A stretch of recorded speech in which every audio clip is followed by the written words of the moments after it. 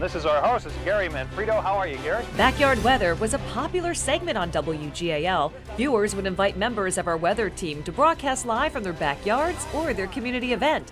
It was a fun way to share the forecast and connect with people and organizations. There was even one time Kim Lemon surprised Doug Allen, who was celebrating a milestone with WGAL in York County. We are here to celebrate your 25th anniversary Are we on the air? WGAL. we are on the air, baby. Backyard Weather brought the weather team to your home and town and often promoted events, entertainment, and of course, featured great food. We've had enjoyed ourselves immensely.